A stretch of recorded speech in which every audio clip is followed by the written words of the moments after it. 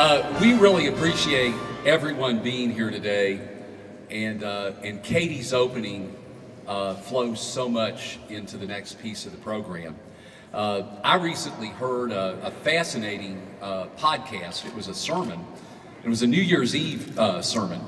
The minister challenged folks who listened not to think about eating better in the new year or managing your schedule better, but to answer a question.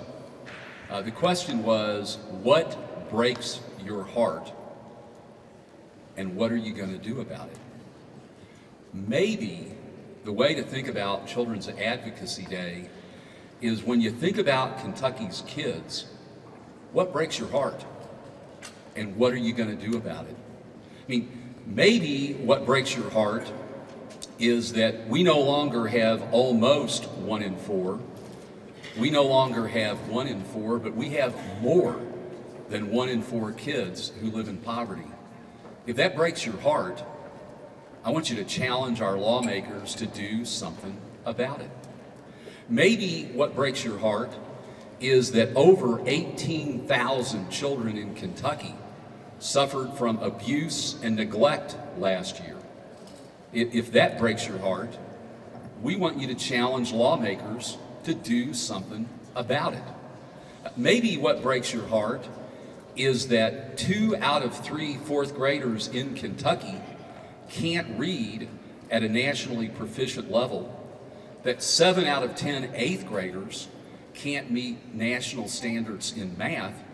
If, if that breaks your heart, we want you to challenge lawmakers to do something about it. So you just heard Katie talk about what breaks her heart is that we have not realized the full potential of kinship care. I want you to really challenge yourself today to think about what is that issue that breaks your heart and, and what can our elected leaders do uh, to make a difference. Because the one thing that I will tell you is that at, in a year where it seemingly everyone is predicting that nothing is going to get done in Frankfort, we feel just the opposite. The, the track record of our General Assembly over the last several years has been that they have indeed been champions for kids. And we really hope and expect that to continue working with Speaker Stumbo, President Stivers, and Governor Bevin. Uh, we are approaching 2016 with optimism and pragmatism.